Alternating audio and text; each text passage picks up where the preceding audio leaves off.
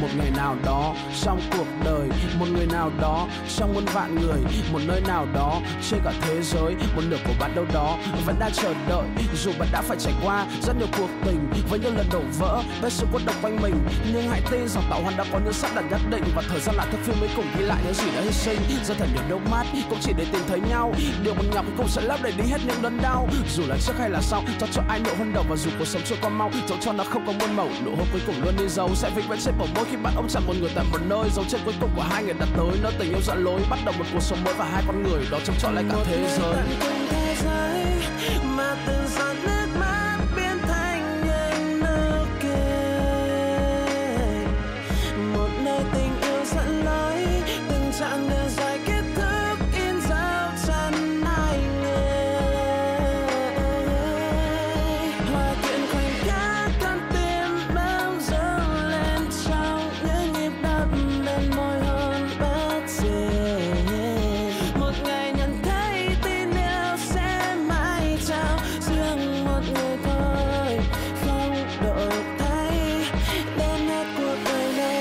60 năm, đi hết trái đất một vòng. Còn những đường thẳng song song, là chân những bước ngược dòng. Những lúc mất niềm tin, không một tia hy vọng. Chạm chân tới nơi vực sâu, tưởng chừng không thể sống thì đừng lo. Bạn sẽ gặp một người khiến bạn thay đổi.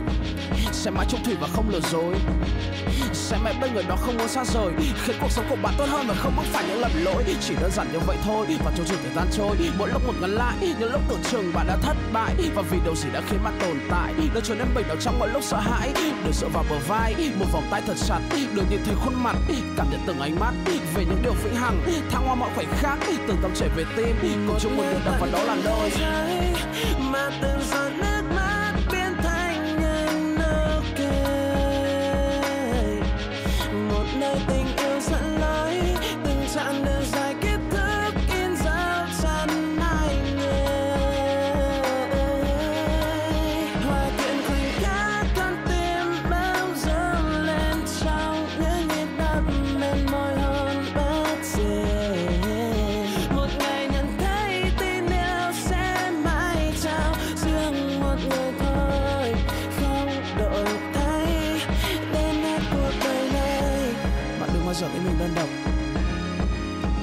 và một ngày nào đó nếu cả thế giới lại quay lưng với bạn, thì hãy tin rằng một lúc nào đó bạn sẽ gặp được một người cùng bạn vượt qua tất cả mọi thứ.